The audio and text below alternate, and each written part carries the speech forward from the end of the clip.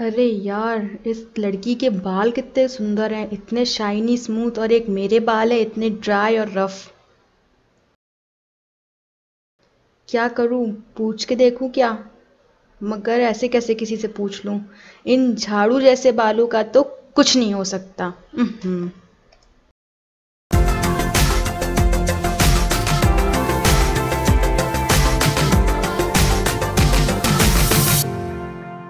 क्या दोस्तों, आपके साथ भी बिल्कुल ऐसा ही होता है। मेरे साथ तो पहले बहुत ज़्यादा ऐसा होता था, जब मेरे बाल देखने बिल्कुल ही बेकार लगते थे।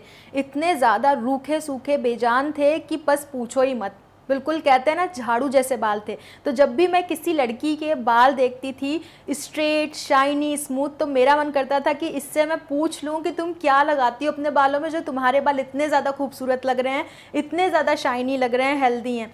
तो मेरे दिमाग में आता था, अब बात यह आती है, किसी भी अननोन पर्सन से आप ऐसे सवाल तो पूछ नहीं सकते। तो मुझे बहुत ज़्यादा टाइम लगा इन सारी ट्रिक्स को जानने के लिए, मगर आपको बिल्कुल भी टाइम नहीं लगने वाला, क्योंकि आप इस दो मिनट की वीडियो में जान लोगे ये सारी ट्रिक्स कौन सी हैं, जिनको फॉलो करके आप भी अपने बालों को सॉफ्ट स्मूथ और हेल्दी बना सकते हो, जैसे मेरे बन गए हैं। बस दोस्तों, आज की इस वीडियो में हम डीआईवाई यूज़ करेंगे। डी यूज़ करने में थोड़ा टाइम जाता है मतलब कि थोड़ा टाइम लगता है और इसका रिज़ल्ट मिलता ज़रूर है, मगर इसका कोई साइड इफ़ेक्ट नहीं होता। आप मार्केट में जाओगे पार्लर में जाओगे, वहाँ हेयर स्मूथनिंग करा रहे हो रिबॉन्डिंग करा रहे हो या केरेटिन ट्रीटमेंट करा रहे हो तो बहुत ज़्यादा पैसे जाते हैं। चलो, पैसे तो चले गए कुछ दिन के लिए बाल भी खूबसूरत हो जाते हैं। मगर उसका साइड इफ़ेक्ट आपको नहीं पता कितने ज़्यादा हेयर फॉल होता है और इन सारे ट्रीटमेंट के बाद जो केमिकल हमारे बालों में जाते हैं, कितना ज़्यादा हमारे बालों को डैमेज करते हैं, कितना ज़्यादा ड्राई कर देते हैं बालों को। तो इन सारी चीज़ों से मैं तो बच के रहती हूँ और मेरे से बहुत लोग पूछते हैं, क्या आपने भी हेयर स्मूथनिंग या हेयर रिबॉन्डिंग कराई हुई है। तो मैं कहती हूँ, मैंने कुछ नहीं कराया।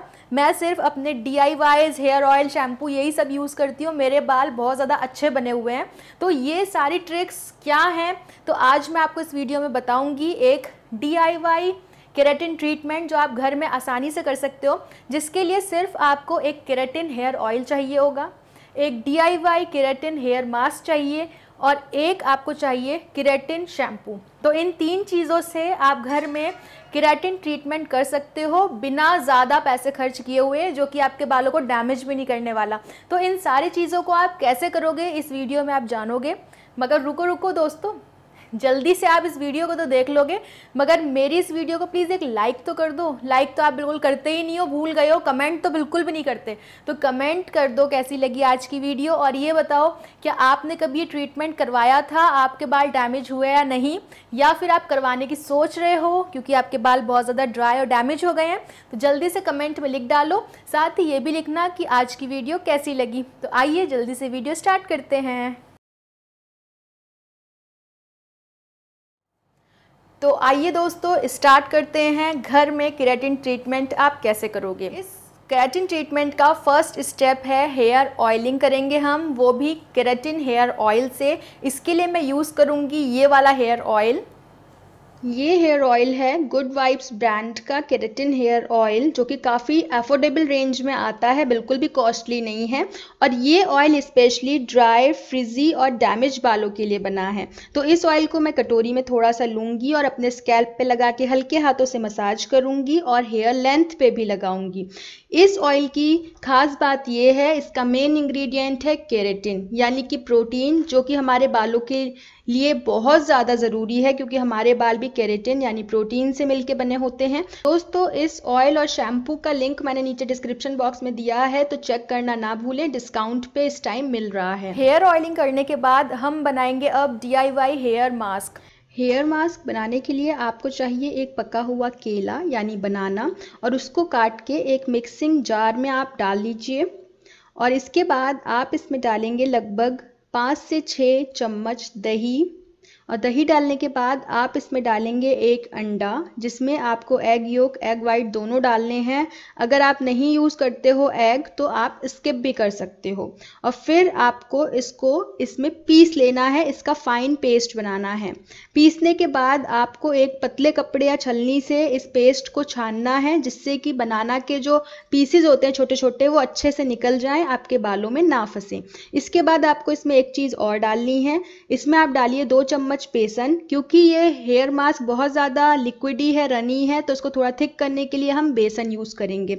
इस हेयर मास्क को बनाने के लिए आप अपनी लेंथ के हिसाब से बनाना लीजिए। मेरे बाल लंबे हैं तो मैंने वन लिया है। अगर आपके मीडियम या शॉर्ट हैं तो आप हाफ़ बनाना भी ले सकते हैं। इसको अच्छे से मिक्स करके इसको एक पेस्ट फॉर्म में आप बना लीजिए। पेस्ट तो नहीं बनेगा, थोड़ा लिक्विड ही रहेगा। तो इसको जब आप तैयार कर लोगे, फिर आप इसको अपने बालों की लेंथ में अप्लाई करो। इस हेयर मास्क में हमने जितने भी इंग्रेडिएंट डाले हैं, वो सब प्रोटीन रिच हैं। तो ये हेयर मास्क एक बन गया है प्रोटीन रिच हेयर मास्क जो कि हमारे ड्राई फ्रिजी डैमेज बालों को सही करने में मदद करता है। बालों में शाइन लाता है, बालों के टेक्सचर को ठीक करता है। तो इस हेयर मास्क को आप अपने लेंथ पे लगाइए और फिर आप इसको 20 मिनट तक के लिए छोड़ेंगे। आप चाहें तो अपने हेड पे, यानी अपने सर पे पॉलिथीन रैप कर सकते हो या फिर शावर कैप भी लगा सकते हो, जिससे कि ये ना जाए। तो 20 मिनट तक इसको रखिए। दोस्तों, ये हेयर मास्क थोड़ा लिक्विडी होता है रनी होता है। तो अगर आप बहुत ज़्यादा लेज़ी हो, आपको बाल धोने में शैम्पू करने में बहुत ज़्यादा प्रॉब्लम होती है तो मैं आपको रिकमेंड करूँगी कि इस हेयर मास्क में आप बनाना ऐड ना करें। और इसको हेयर मास्क को अच्छी तरीके से छान लीजिए, छलनी से या किसी पतले कपड़े से, क्योंकि बहुत लोग की शिकायत ये आती है कि बनाना जब भी हम यूज़ करते हैं तो हमारे बालों में वो अटक जाता है, फंस जाता है। और ड्राई होने के बाद ऐसा लगता है जैसे बहुत सारी डैंड्रफ हो गई है। तो मैं आपको पहले से ही बता रही हूँ ये चीज़ कि जैसे मैंने बताया है, उसी तरीके से आप इस हेयर मास्क को बनाइएगा और इसको पहले पानी से धोइएगा, उसके बाद शैम्पू करिएगा। मैं आपको रिकमेंड करूँगी कि आप कैरेटिन हेयर शैम्पू ही यूज़ करें। मैं यूज़ कर रही हूँ गुड वाइब्स ब्रांड का कैरेटिन हेयर शैम्पू जो कि बहुत ज़्यादा अच्छा है और इसका मेन इंग्रेडिएंट कैरेटिन है और जो कि कैरेटिन ट्रीटमेंट के लिए बेस्ट है। तो दोस्तों शैम्पू करने के बाद जब मेरे बाल ड्राई हो गए तो उनका रिज़ल्ट ये था। बिल्कुल बाल सॉफ्ट, स्मूथ महसूस करेंगे और अगर आप इसे एक महीने तक भी कर लोगे इस हेयर मास्क को यूज़ तो आपको बहुत अच्छा रिज़ल्ट मिलना स्टार्ट हो जाएगा क्योंकि डीआईवाई है, थोड़ा टाइम लेती है। तो दोस्तों, ये थी मेरी आज की वीडियो आई होप आपको पसंद आई हो तो इसको लाइक करिएगा शेयर करिएगा अपने दोस्तों के साथ। साथ ही कमेंट करके बताइएगा कैसी लगी आज की वीडियो और मुझे इंस्टाग्राम और फेसबुक पेज पे फॉलो करिए और ज़्यादा अपडेट्स के लिए आप मुझे वहाँ मैसेजेस भी कर सकते हो डायरेक्टली तो मैं वहाँ पर आपकी रिप्लाई देने की कोशिश करूँगी। और दोस्तों अगर आप मुझे पहली बार देख रहे हो तो चैनल जल्दी से सब्सक्राइब कर लो, जिससे कि मेरी आने वाली वीडियोस को आप मिस ना कर सको। तो मैं मिलती हूँ अपनी नेक्स्ट वीडियो में। तब तक के लिए bye bye and take care.